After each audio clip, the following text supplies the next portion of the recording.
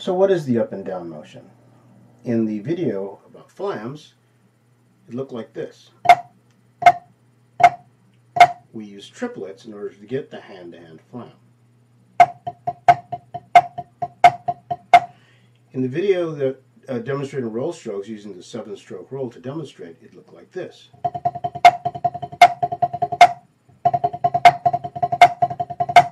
Okay, so what is it and how do we acquire it?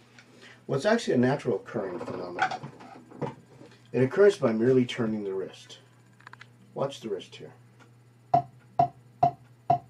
You can see it going up. In the left, watch the wrist here. See it going up? That's keeping everything relaxed and merely turning the wrist. A good way to practice it is to make a tap. And you, you see it start to go up. Well, you follow that up.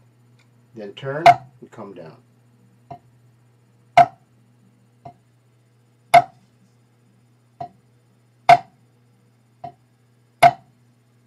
Turn. See it go up. Follow it. Come down. Turn. Turn your wrist though. Turn your wrist. Flams that look like this. That seven stroke roll looked like this.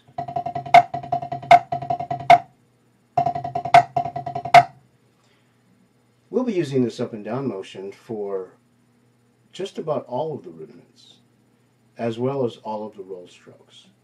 It's very helpful in that it helps us get uh, twice the speed with half the effort, like this. There's two up, two down, one up, two down. There's lots of ways that we're going to use this motion.